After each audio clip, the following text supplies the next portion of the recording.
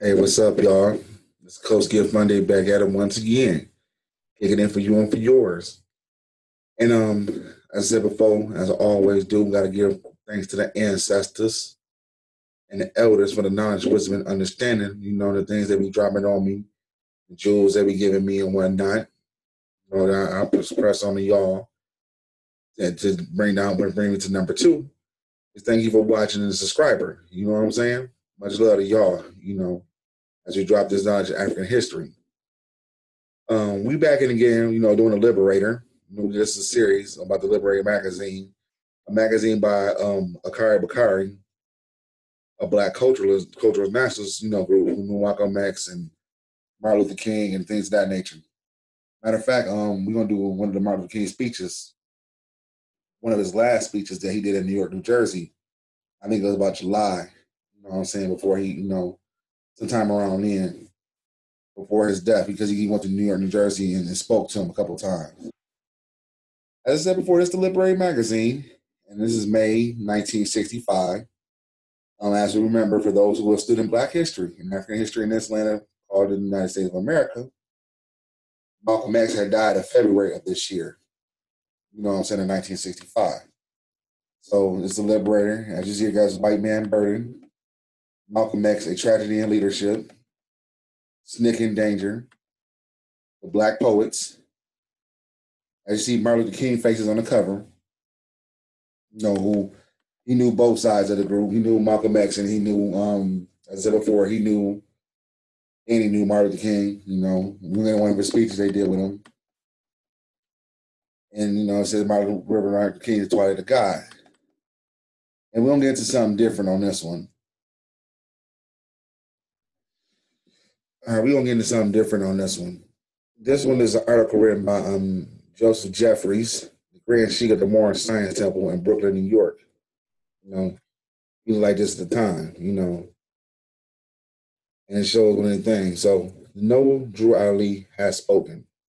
The reason why I picked this one because I never done a Noble Drew Ali video, and it was good to give an insight what uh, Moorish thought, the Moorish Science Temple thought back then, and how their ideas were, and how am I kind of different from way you hear Moorish speak today, or Moorish still speak today. It depends on your point of view.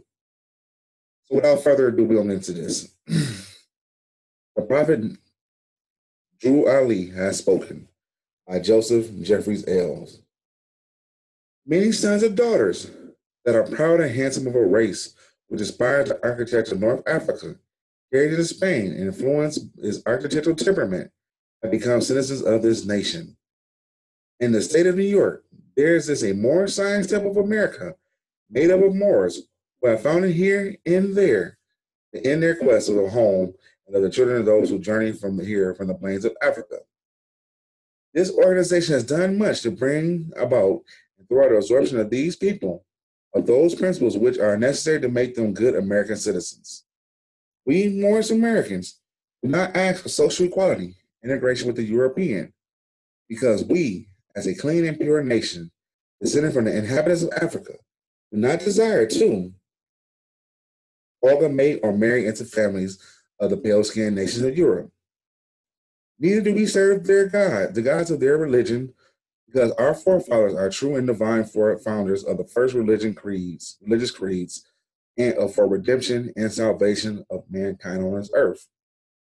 Our divine and national movement stands for specific grand principles of love, truth, peace, freedom, and justice to all mankind.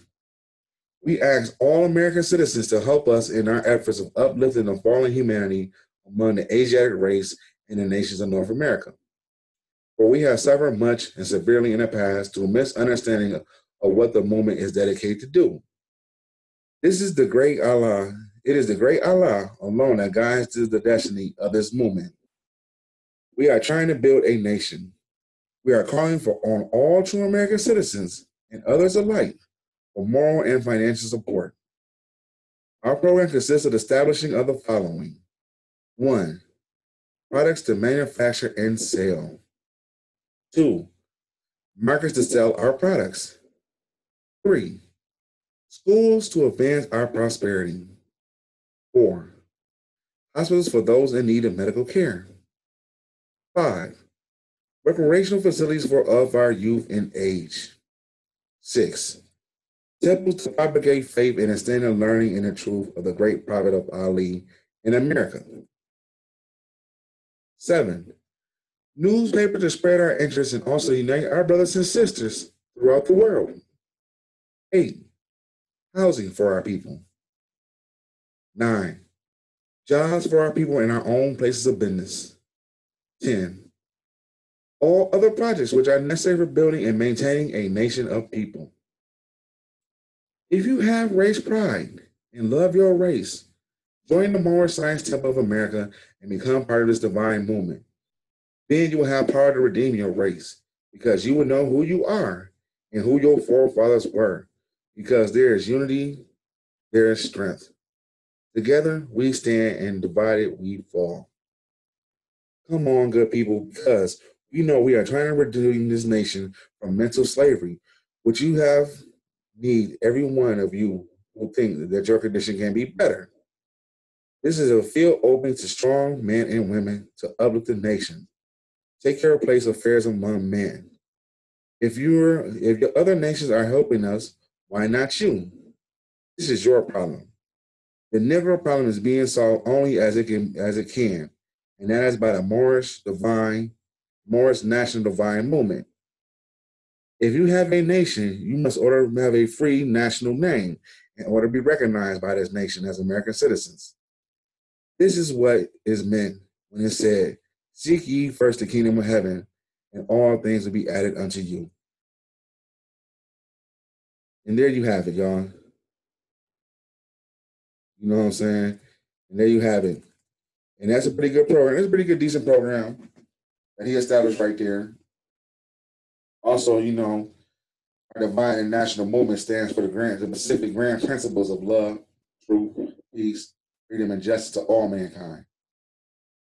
You know, and they're trying to build a nation, uh, reestablish a nation. With one products to manufacture and sell, sell, they have a place to sell their products. Three, schools to advance their prosperity. Four, hospitals for those who need medical care. Five, recreational facilities for our youth and age. Six, temples to propagate the faith and extend the learning and truth of the great prophet Ali in America. Seven, newspapers to spread our interests and also unite our brothers and sisters throughout the world. Eight, housing for our people. Nine, jobs for our people in our own places of business. And 10, other products which are necessary for building and maintaining a nation of people. Now, this is over from May 1965, and it was dropped in, as I said before, the magazine called The Liberator, May 1965, by Joseph Jeffries El, who was the Grand Sheik of the Brooklyn Mosque in New York City. This is Koski a fun day. We're gonna keep on dropping jewels like this. We gotta keep it coming because we're here to educate and uplift our people and bring back and redeem our nation, a nation within a nation, our own economics, our own political science, our own social development. You understand? With our own unity, you know, our own education, which is the linchpin, because you know, a person that's not educated, essentially, you know, not educated in political doctrine or economic doctrine or social development doctrine, is pretty much a is a criminal. And you get through this through unity and organizations. You know, the last three I talked about, the education, the political, no, excuse me, the political, the economics, and the um, social development, those are sciences. You know what I'm saying? It's a science to that. You know, the other three, the last three, the unity, the organization, and the education, that comes through. That comes through, like I said, organization and unity education. That comes through people getting together. You know what I'm saying? Discussing the possibilities of making things happen. You know what I'm saying? To get to the unity, to get to the organization. Through the organization, you build up an educational program. The educational program is based off those three sciences. You know what I'm saying? The ed- economic science, the political science, and the science of social development for the youth. They're perpetuating. You know what I'm saying? Because a nation goes beyond generations. Anywho, this is a Koski of Fun Day. Much love to you and yours.